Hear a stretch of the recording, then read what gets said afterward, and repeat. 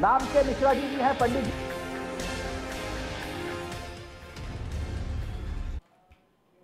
नमस्कार, आप देख रहे हैं न्यूज़ इंडिया आपके साथ मैं हूँ काजोल नारायण। शुरुआत करेंगे खबरों की। प्रदेश में विधानसभा चुनाव की तारीखों का ऐलान हो चुका है। वोटिंग के करीब एक महीने पहले बीजेपी को झटके पर झटके लग रहे हैं। बीते दो दिनों में यूपी की योगी सरकार और बीजेपी में जिस तरह से इस्तीफों की झड़ी लगी हुई है, उसे देखते हुए अटकलें लग रही हैं कि अभी और इस्तीफे भी हो सकते हैं। सूत्रों से ऐसा पता चला है कि ऐसे कुल तेरह विधायक की लिस्ट है जो बीजेपी छोड़ सकते हैं। स्वामी प्रसाद मौर्य तो 14 तारीख को धमाका करने की बात कह चुके हैं।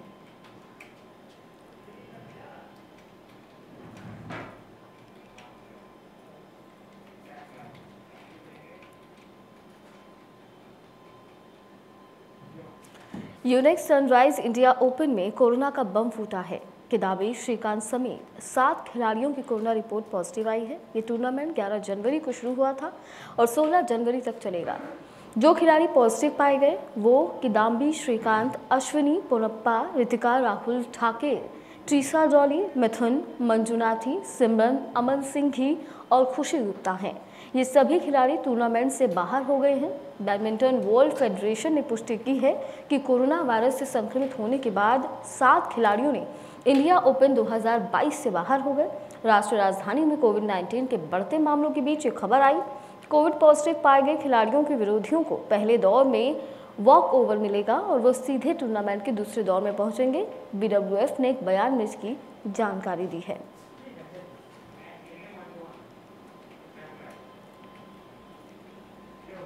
उत्तर प्रदेश में चुनावी बिगुल बच चुका है। सात चरण में उत्तर प्रदेश में चुनाव होने हैं। तमाम पार्टियाँ अपनी चुनावी तैयारियों में जुटी हुई है।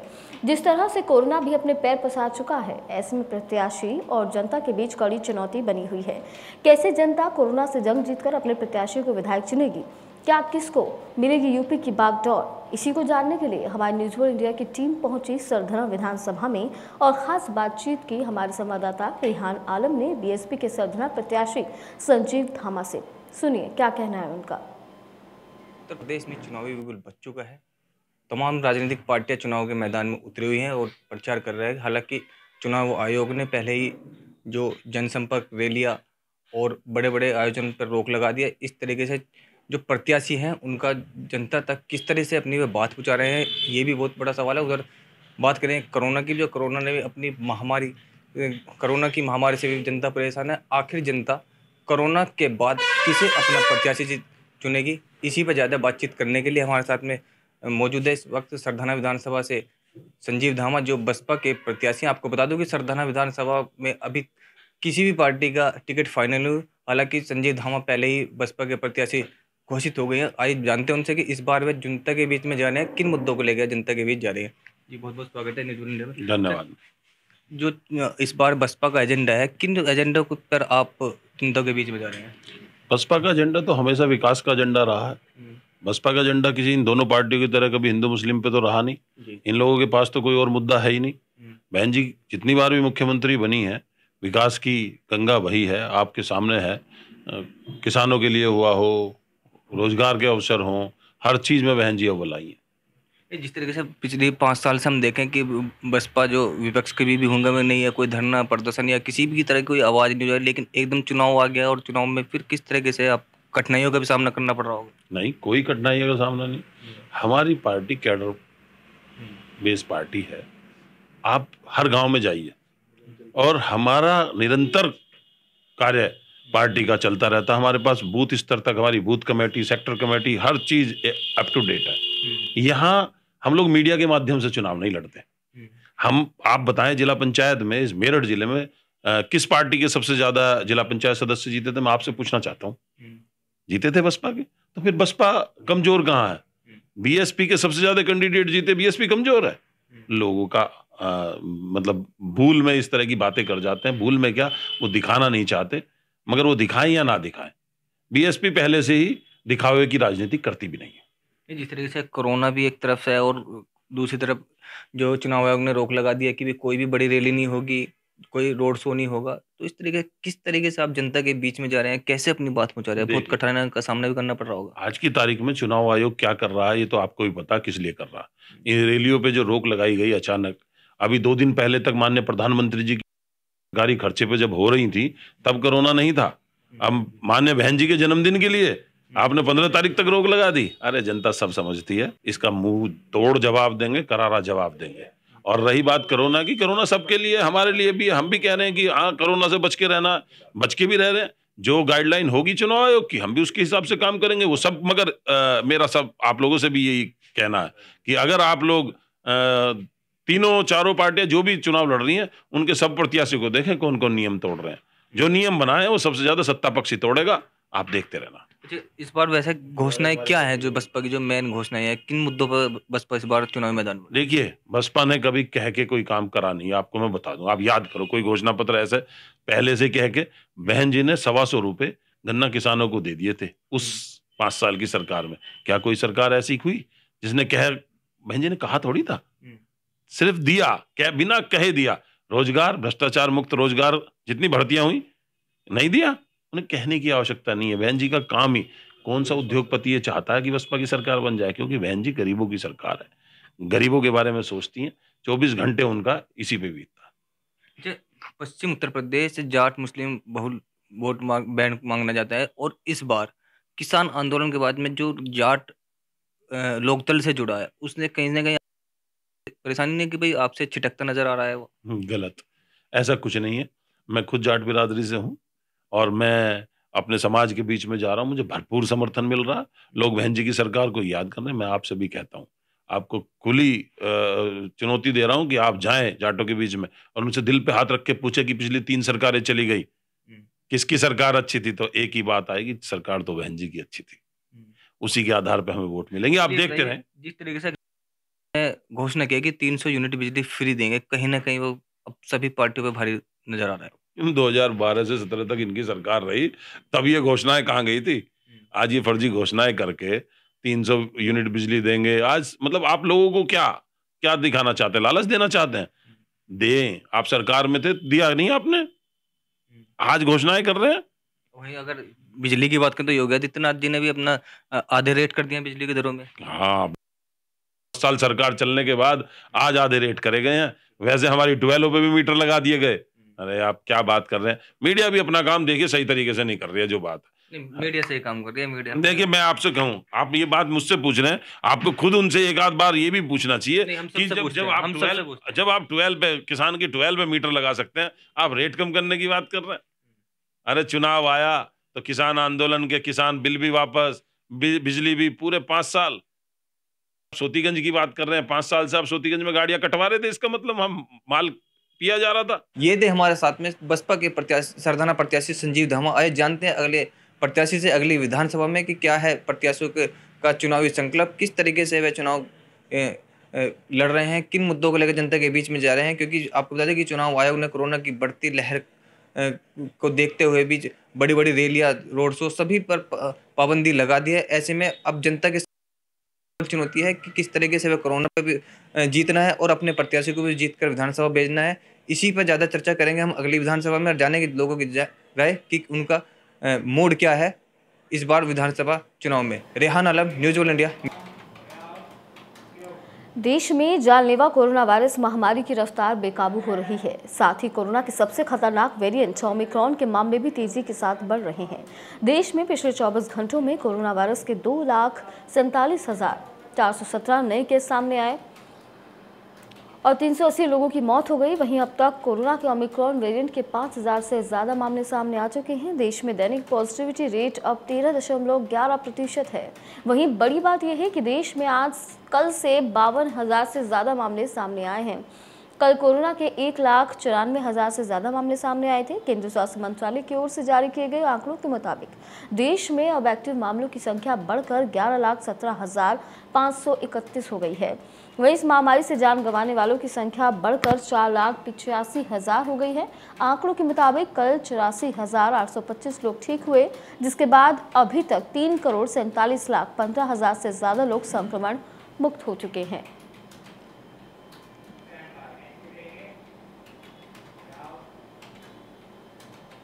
मुरादाबाद के थाना सिविल लाइन इलाके के पौष कॉलोनी में उस समय हड़कंप मच गया, जब दो बाइक सवारों ने अपनी दुकान बंद कर रहे व्यापारी की गोली मारकर हत्या कर दी। वहीं सूचना मिलने ही मौके पर पहुँची पुलिस ने मृतक के शव को कब्जे में लेकर पोस्टमार्टम के लिए भेज दिया है।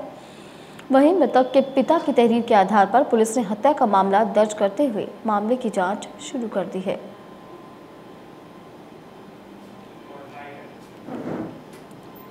देखिए, थाना क्षेत्र सिविल लाइन में कुशांग गुप्ता, जिनकी ये स्पोर्ट्स की दुकान है दुकान बंद करके निकल रहे थे। एक लड़का बाहर की तरफ़ से आया वो उसने गोली मार दी है। जिनका हॉस्पिटल ले जाते हुए उनकी मृत्यु हो गई है। परिजनों से पूरी जानकारी की जा रही है। उनके द्वारा जो तहरीर दिया जा रहा है, उसके आधार पर मुकदमा पंजीकृत थाना पर कराया जा रहा है। हम सभी लोगों के द्वारा घटनास्थल का निरीक्षण कर लिया गया है। एक पुरानी विवाद जो है इनके किराएदार के साथ संज्ञान में आया है। हमारी एसओजी की टीम सर्विलांस की टीम इस काम पे लगी है पूरी छानबीन कर रहे हैं और जो भी तथ्य प्रकाश में आएँगे उसके आधार पर आगे की कार्रवाई की जाएगी।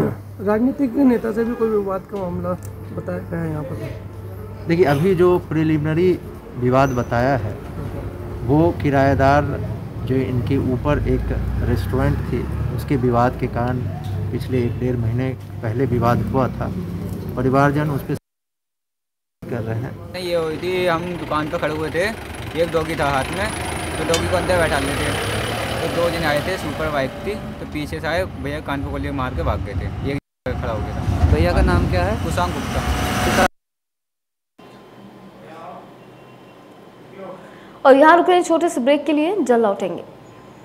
सरकारों से सवाल पूछना है। मेरी आदत मैं वो नहीं हूँ जो सत्ता से सवाल नहीं पूछते। मैं वो हूँ जो सत्ता से ही सवाल पूछता हूँ। मैं जनता के मुद्दे उठाता हूँ उसी पे बात करता हूँ। राष्ट्रहित राष्ट्रहित राष्ट्रहित किसी ने राष्ट्रहित नहीं दिखाया। मेरा अंदाज है बेबाक। माननीय मेनका गांधी जी आपने कहा कि तुम्हारे पिता क्या चपरासी थे? तो सुनिएगा सांसद जी हमारे देश के प्रधानमंत्री भी चाय बेचते थे। हम उठाते हैं आपके मुद्दे। माहौल गर्म है मुद्दा भी गर्म है। तो बजा के पूछिए इनसे। कि क्या वादे कर रहे हो नहीं कर रहे हो तो रिजाइन करोगे? अपना जोश और वोट बचा के रखिएगा। चलिए भारत माता की। हम लेते हैं सीधा सरकारों से जवाब। बहुत सारे सवाल है जवाब दीजिएगा। इस आंदोलन में बहुत सारे किसानों ने अपनी जान गंवा दी। लखीमपुर तो आप पहुँच गए। पंजाब में क्या किसी किसान की मौत नहीं हुई? न पक्ष न विपक्ष सिर्फ़ निष्पक्ष। सब यहाँ किसान परिवार से आते हैं आप क्यों खेत दिखा रहे हैं? आपकी सरकार में किसान क्या खुदकुशी नहीं करते थे? तब आपकी सरकार आती है। हम हैं यूथ फॉर इंडिया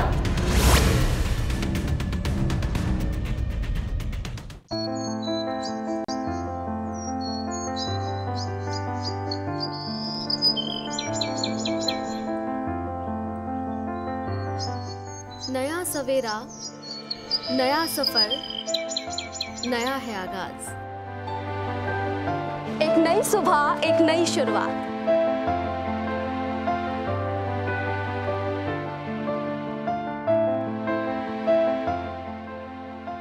चाय की चुस्कियाँ गुड मॉर्निंग इंडिया के साथ। Bye mummy. बाय पापा।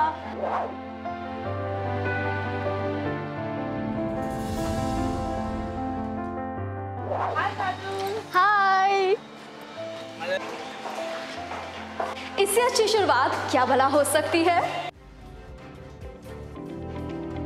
नमस्कार स्वागत है आपका न्यूज़ ऑल इंडिया में आपके साथ। मैं हूँ पारुल त्यागी और आप देख रहे हैं हमारा खास कार्यक्रम गुड मॉर्निंग इंडिया दिन भर के लिए रहिए फुल अपडेट दिन भर के बड़े डेवलपमेंट्स दिन भर की पॉजिटिव खबरें। मंडे टू सैटरडे सुबह आठ बजे देखिए good morning India Parul Tyagi के साथ। और काजल नारायण के साथ।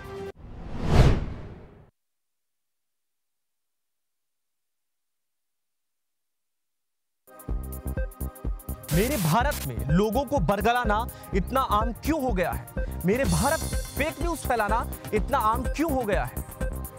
तो ऐसे में जब सच और झूठ के बीच फ़र्क करना हो जाए मुश्किल, तब भारत एट नाइन में हम बात करेंगे उस परत दर परत की, जहाँ से सच बेनकाब होगा। आज के दौर में सच बोलना मुश्किल हो सकता है, लेकिन ईमानदार लफ्ज अपने रास्ते ढूंढ लेते हैं।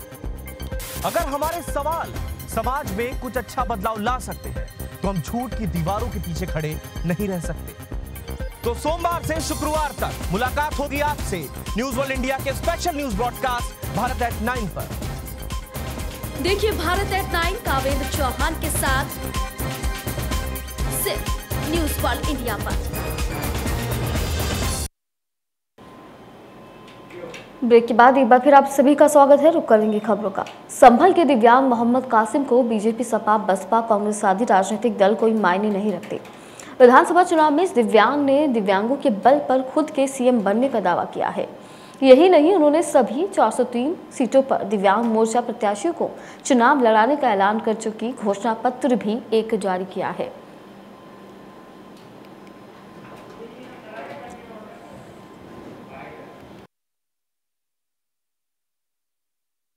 देखिए, सबसे पहले तो सर्वित कल्याण मोर्चा संगठन संस्था है हमारी तो उसी बैनर तले हम इलेक्शन लड़ेंगे। जैसे हमने तीन दिसंबर का विकलांग दिवस हमारा होता है तो हमने कहा था या तो सरकार एक देश एक पेंशन पाँच हज़ार रुपये करे, अन्यथा हम इलेक्शन लड़ेंगे। तो हमने चार सौ तीन प्रत्याशी उतारे हैं और हमने अपना घोषणा पत्र जारी किया है, उसके बाईस बिंदु हैं। जैसे दिव्यांग जैसे दिव्यांगों को पेंशन एक हज़ार रुपये कर दी गई है तो पाँच हज़ार रुपये होनी चाहिए। दिव्यांगों के लिए सिलेंडर फ्री होना चाहिए लाइट फ्री होना पेट्रोल तीस परसेंट क्या नाम है छूट से मिलना चाहिए शिक्षा मुफ़्त होनी चाहिए। और क्या नाम है दिव्यांग सबसे नीची श्रेणी में आते हैं जैसे आ, क्या नाम है आप लगा लीजिए तीसरी श्रेणी में पिछड़े वर्ग होते हैं जिसे दिव्यांग के लिए आने जाने के लिए दस रुपये की भी सहायता नहीं होती है। तो एक हज़ार रुपये भी यूपी में हो गई है पेंशन तो एक हज़ार रुपये में कुछ भी नहीं कर पाएँगे। तो इसी इसी मुद्दे को हमने लेके या तो सरकार हमारी मांग पूरी करे और नहीं करती है तब हमने तीन दिसंबर को कहा था तो इसलिए हमने अपना जारी किया है। अच्छा आपने अपने उम्मीदवार उतार दिए इसके सीटों पर? जी जी 403 सीटों पर हमने अपने उम्मीदवार उतार दिए हैं और हम 2022 में अपनी सरकार बना रहे हैं। और पूर्ण बहुमत सरकार बनाएँगे। किसके बलबूते आप ये चुनाव लड़ने जा रहे हैं अभी देखिए हमारे दिव्यांग हैं विधवा हैं साठ साल हैं और हमारे किसान हैं युवा हैं सबके बलबूते पर हम क्या नाम इलेक्शन लड़ेंगे। उत्तरकाशी के गंगोत्री विधानसभा क्षेत्र में पूर्व विधायक विजयपाल सजवान कई ग्रामीण क्षेत्रों में लगातार जनसंपर्क कर 14 फरवरी 2022 को होने वाले विधानसभा चुनाव के लिए समर्थन जुटा रहे हैं। धरारी क्षेत्र में अपने दो दिवसीय दौरा कार्यक्रम के तहत उन्होंने पहले दिन माजफ रनारी अस्तल गुनाल गाँव भाकड़ा जोकाणी विनोली आदि गाँवों में जनसंपर्क कर समर्थन जुटाया तो वहीं दूसरे दिन उन्होंने भालसी, हिटानू टुखार नालाघर, माजियासारी जड़ीडुमका अदाला, डूँगी सिगुनी और पैनी भवान में जनसंपर्क कर 14 फरवरी को होने वाले विधानसभा चुनाव के लिए समर्थन जुटाया है।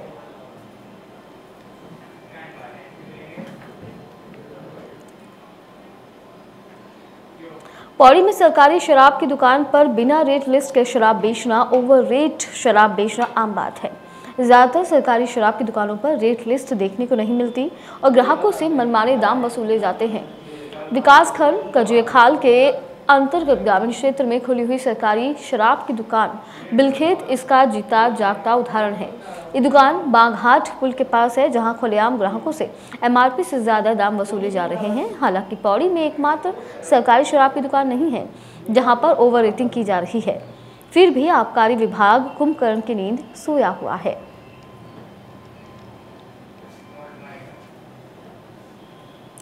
मैं सरकार और डीएम से ये दरख्वास्त करना चाहूँगा। पौड़ी में जो ठेके हैं, पौड़ी या आसपास जो गढ़वाल में जो भी ठेके हैं, वहाँ पे दारू जो प्रिंट रेट है, उनसे ज़्यादा रेट पे मिली जा रही है। तो हम ये चाहते हैं कि सरकार से और डीएम से यही चाह रहे हैं कि जो रेट है, उसी रेट पे हमें दारू मिले।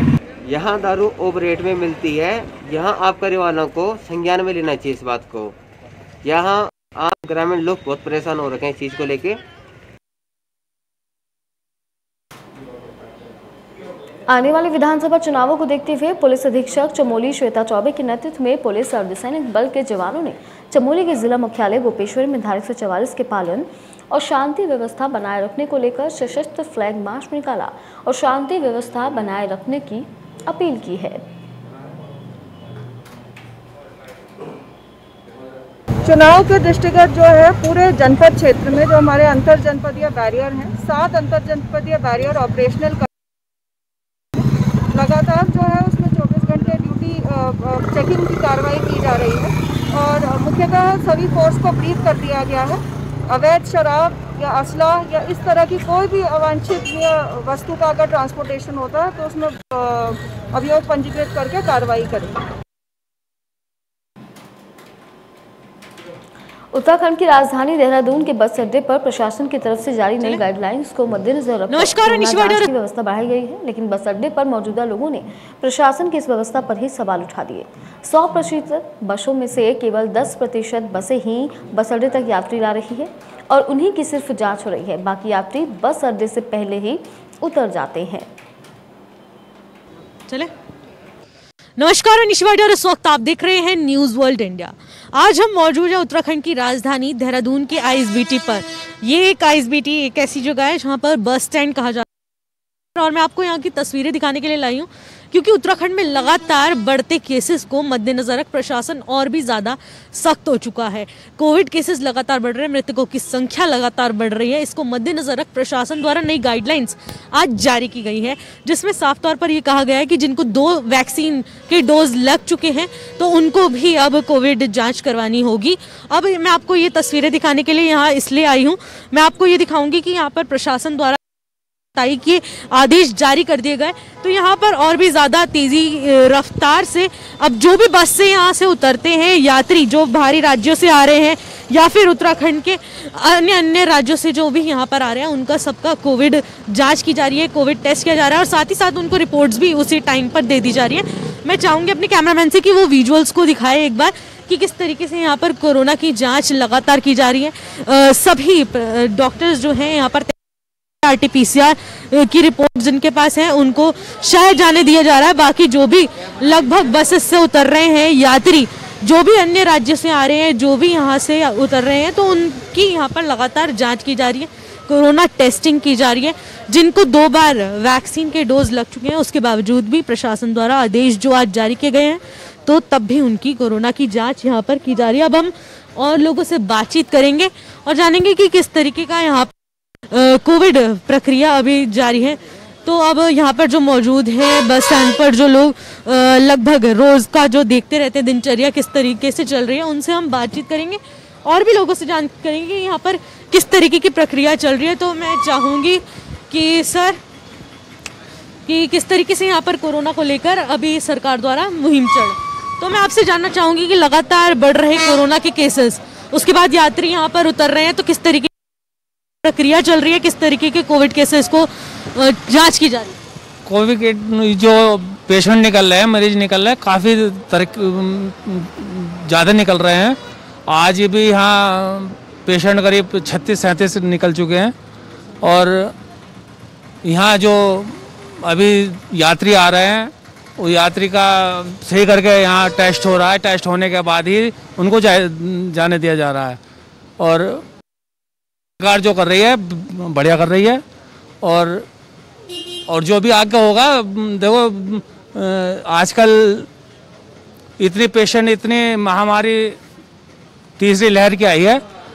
और सरकार ने जो निर्णय लिया जल्दी अच्छा लिया है।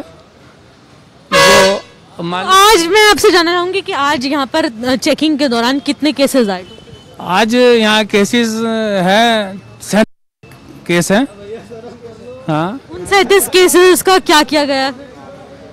उनको होम क्वारंटीन कर दी कर, कर दिया गया।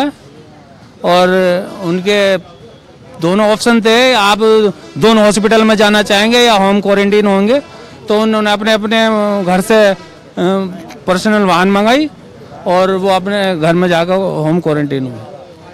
और यही मैं आपसे सवाल चाहूँगी कि इतने बढ़ते केसेस को लेकर आपके चेहरे पर मास्क नहीं है और यहाँ पर ही कोविड टेस्टिंग की जा रही है। हमें ज़रूरत ही नहीं इन चीज़ों की। हम तो खुद क्वारंटीन नहीं रहते हैं हमेशा। चौबीस घंटा में बीड़ी सिगरेट वाले आदमी। हम ऊपर वाले डरते इन चीज़ों में डरते।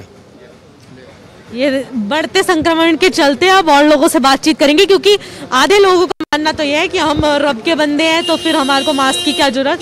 तो और लोगों से जानते हैं कि किस तरीके की प्रक्रिया यहाँ पर चल रही है को, कोरोना मैनेजमेंट कर रहे हैं उनसे भी बातचीत करेंगे पर उससे पहले तस्वीर दिखाना चाहूँगी कि यहाँ पर जितनी भी सारी बसेज हैं वो यहाँ के रास्ते से आती हैं और उधर के रास्ते से जाती हैं और यहाँ से जब उतरती हैं तो यहाँ के सारे यात्रियों को एक एक कर कर यहाँ पर कोरोना की टेस्टिंग के लिए लाया जा रहा है आरटीपीसीआर की जाँच के लिए। और मैं आपसे जानना चाहूँगी कि किस तरीके से आप मतलब अभी यात्री हैं आप? नहीं यात्री नहीं है मैं अपनी मम्मी को लेने आया हुआ। अच्छा तो आप लेने आए थे यहाँ पर। आपने देखा होगा कि आईएसबीटी पर लगातार कोरोना की टेस्टिंग चल रही है तो इसको लेकर आप क्या कहेंगे? टेस्टिंग चल रही तो अच्छी बात है चलनी चाहिए। और बस। तो जैसा कि इन्होंने बताया कि कोविड को लेकर यहाँ पर टेस्टिंग जारी है तो कहीं ना कहीं अच्छी बात है। अब और भी लोगों से जानेंगे कि किस तरीके का यहाँ माहौल बना हुआ है। और लगातार जो बसेज हैं वो यहाँ पर उतर रही हैं। और भी कई सारी चीज़ें हम बातचीत करते हैं लोगों से। कि सर मैं आपसे जानना चाहूँगी कोरोना को लेकर यहाँ पर जो टेस्टिंग जारी है उसको लेकर आप क्या कहेंगे? कुछ नहीं कह सकते।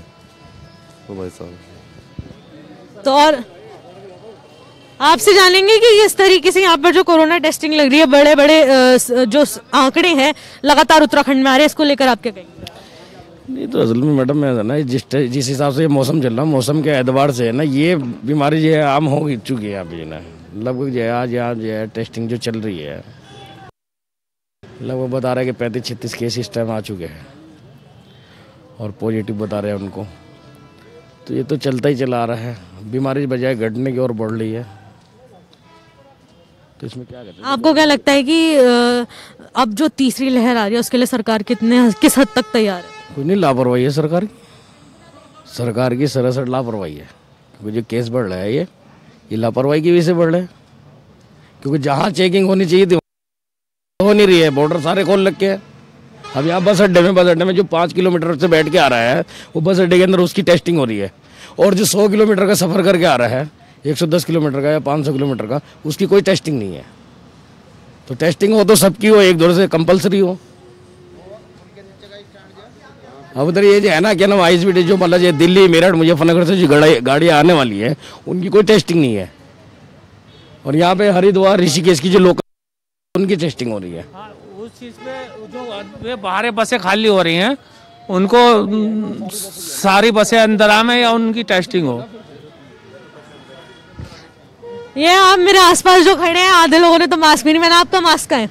मेरा मास्क गाड़ी में रखा हुआ तो वो आप जो बढ़ रहे संक्रमण को देख रहे हैं लगातार आंकड़े बढ़ रहे हैं पर आपका मास्क का है। मैं तो इतनी बात जानता हूँ अगर कोरोना है मैं मानता हूँ कोरोना है जो यहाँ पे पॉजिटिव निकला जा रहा है उसको अपने जा रहा है। उसको अपने घर क्यों भेजा जा रहा है? तो मैं तो नहीं मानता हूँ कोरोना। है अगर मानने की बात है मेरे को कोरोना है तो मेरे को घर ना भेजा जाए। क्योंकि अगर मैं अपने घर जाऊँगा मेरे घर के पीछे मेरे मेरे पीछे मेरा सात परिवार है। अगर मैं घर जाऊँगा तो साथ भी कोरोना पॉजिटिव होगा। पर ये तो कह रहे हैं कि उन्होंने दो ऑप्शन दिए थे एक घर होम क्वारंटीन होने का और एक दून हॉस्पिटल का। मैं मानता हूँ आप ये मेरे को दो ऑप्शन दे रहे हैं एक दून हॉस्पिटल का एक मेरे घर का। अब ये देखने थोड़ा ना जा रहे हैं मेरे पीछे पीछे हूँ या बाहर हूँ। तो इस पर आप क्या कहेंगे कि इस सरकार फिर इस चीज़ में ढिलाई है या नहीं? नहीं मैम जो बाहर के जो दोनों हॉस्पिटल जाना चाहते हैं उनको दो एंबुलेंस बुलवाई हमने। उनको दोनों हॉस्पिटल हॉस्पिटल भिजवाया। तो जैसे कि हमने लोगों से बातचीत की लोगों से बातचीत के दौरान ये बात भी सामने आई है कि आईएसबीटी तक पहुँचते पहुँचते कई आधी जो गाड़ियाँ होती हैं जो बाहरी राज्यों से आ रही हैं वो आधी तो खाली हो जाती है। वहीं कई कई जो चौक हैं वो वहीं पर उतर जाते हैं वहाँ के जो यात्री हैं। यहाँ पर जो गाड़ियाँ पहुँचती हैं, वो 90 कुछ 10 परसेंट ही गाड़ियाँ यहाँ पर आती हैं, जिनका यहाँ से यात्री उतरकर कोविड टेस्ट हो रहा है। बाकी जो 90 परसेंट लोग हैं, वो बीच रास्ते में, बीच चौराहों पर उतर जाते हैं। तो कहीं ना कहीं ये भी एक बहुत बड़ी सरकार की ढिलाई है कि अगर कैंप्स लगाए जा रहे हैं तो हर चौक चौराहे पर लगाने चाहिए। जहाँ से यात्री उतर रहे हैं, उनका भी जायजा लेना चाहिए। या फिर साथ ही साथ लोगों को पहले से ही टिकट लेने से पहले इस चीज़ के बारे में उनका टेस्ट कराना चाहिए कि जिससे ही उस टाइम ही टिकट मिले, जिससे कि बाहरी राज्यों तक पहुँचने के बाद उनका संक्रमण का जो केस है, वो ना पता चले। इसी के साथ आप बने रहिए न्यूज़ वर्ल्ड इंडिया के साथ। नमस्कार। और इसी के साथ फ़िलहाल खबरों में इतना ही। आप बने रहिए न्यूज़ वर्ल्ड इंडिया के साथ।